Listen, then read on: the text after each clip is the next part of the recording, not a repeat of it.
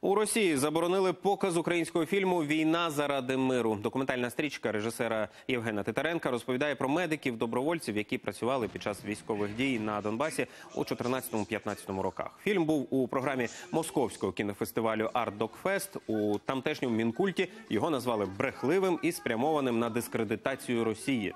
Раніше на цьому ж фестивалі зірвали покази ще однієї документальної стрічки про війну на Донбасі Політ кулі.